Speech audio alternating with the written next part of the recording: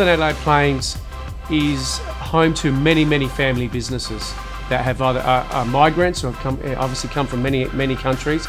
Um, the family business aspect of it is, is definitely nice to be part of. I think it's a salad bowl of South Australia. So, you know, when I think Northern Adelaide Plains, you can get a range of uh, horticultural crops out here, um, and we've got a diverse culture of people and crops.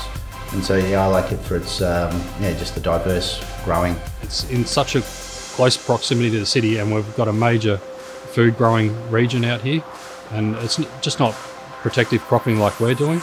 It's it's field cropping and uh, growing wheat and broccoli and potatoes and carrots and all those things out here.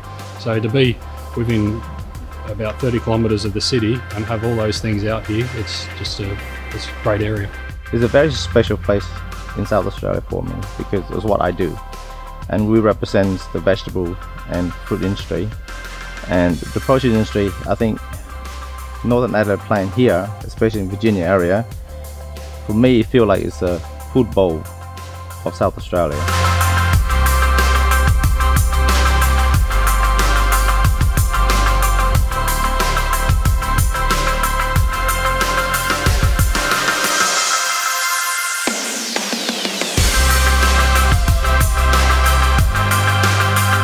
We have the best tasting produce in Australia.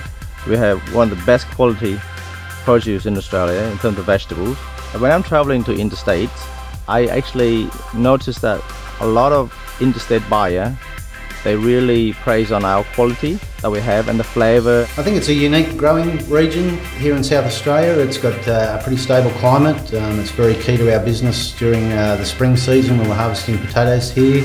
Uh, we've got great soils and um, and water security is, is, is another important facet with the, um, the Bolivar reticulated water. That gives us uh, you know, security that we've got enough water to grow the crop. The Northern Adelaide Plains will, will continue to expand as Australia will be producing much, much more food for the rest of the world. South Australia will, will definitely play part of, of, that, and the Northern Adelaide Plains will, will play a major part of that growth.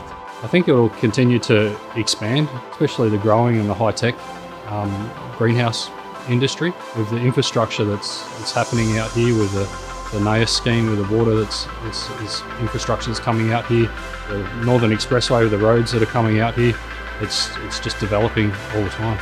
I suppose the most exciting thing that I learned was that you know we that Northern Adelaide Plains are putting 310 million dollars back into the South Australia's economy, and I don't think many people would know that.